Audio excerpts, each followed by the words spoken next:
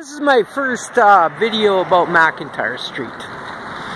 This is McIntyre Street. This is my backyard is on Albert Street. We got Popeye's chicken. I got 237 feet on this side. We got chicken place out back.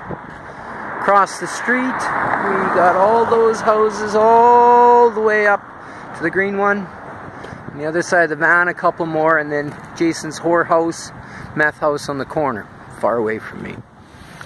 We're going to talk about this house here, 449. Jason, my mother went to the CIBC bank and borrowed the money for me to buy this house. She transferred it to you to hold for Braden. I know because my dad and I stood at the uh, land titles and did it.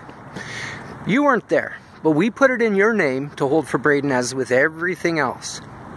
Jason, my mom is owed $200,000 for this house. Do you understand, Jason? She transferred to you for 200,000. Please give her the $200,000. Okay? Do you understand, Jason? You've been getting the rent or a piece of the rent all along, and this is how it was supposed to work. Easy peasy. You help run the houses, you get to share of the rent to go into a bigger picture where we buy more. What's happened is you've done nothing. When I came back from the Arctic, there was six boarded up houses and two vacant. That's eight. No wonder you couldn't finish your renovation. You had eight boarded up houses. You expected my father to do the renovations. Let's do a three for one today. This house here, my grandmother, my dad's mom, borrowed me money. He had, uh, my dad was a trustee and he was frugal, frugal. And uh, I bought this house with borrowed money from my grandma and paid it back at, I don't know, 8 or 9% interest. It caught fire, made the news. I put, I don't know, 60, 70,000 bucks into it and uh, it's a boom up house. This is a house that I bought with my grandma's help. She got paid back. But Jason, you're claiming a piece of this? Shake your head, man. Shake your head. Let's go to this house here. This house here is an interesting one, buddy. There's a vacant lot in the middle. It used to be a farmyard. And uh, I still have uh, where the two stumps are was Chris Kiosis land. Peter Kranechuk sold the red house. That my that's my first house. To, Peter Kranechuk sold it to Chris Kiosis. And he sold this vacant lot to Chris Kiosis, which used to be a feed lot. It's never actually had a house on here. And then the barn half burnt down. So I still have a 25, 30 year old caveat on this one, lean on this one because I never released it with Chris Kiosis. And that happens to be three and a half lots big. My parents transferred that to you, Jason, to hold for my son for 580,000 bucks. You can look up land titles. We want that 580,000 bucks. As with everything, this is how it's supposed to work. You're supposed to help rent and then help collect the rent and the profit from the rent will help build your equity. Right now you've driven us into the ground doing nothing.